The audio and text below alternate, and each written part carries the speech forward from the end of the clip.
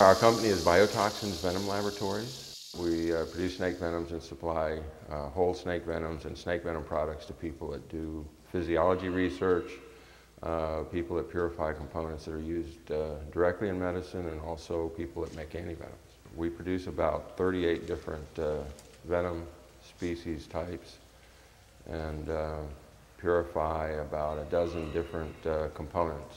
We just recommend one general rule, don't pick the snake up. If you see a snake, leave it alone. Uh, if you're in a situation where the snake presents a threat in your home or you feel that a pet or your children are in danger, then you want to call someone to help you out, like the Central Florida Herpetological Society.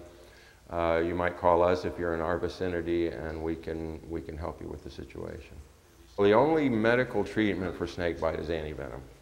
Uh, there are some first aid measures uh, that can be of some benefit, but normally if you're in a situation here in Florida where you can get to a hospital in less than an hour and start antivenom therapy, that should be your main objective. Stay calm and uh, get to a medical facility and get a competent doctor who's uh, familiar with snake bite treatment to administer prompt and sufficient antivenom. That is the main thing that you want to have in your mind uh, should you be involved in a snake bite.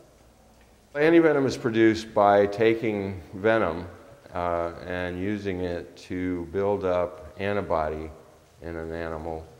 Uh, most companies still use horses, but by injecting venom into an animal, uh, starting with a very minute dose and over a period of several months, uh, incre gradually increasing the dose as the animal builds up a resistance, starts producing antibody and the antibody is stored in the blood serum.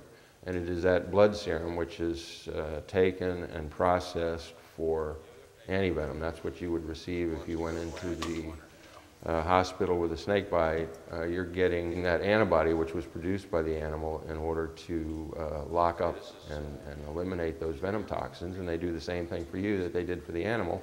Once they're in your circulatory system, they will bind to the venom toxins and let your, your body remove those toxins.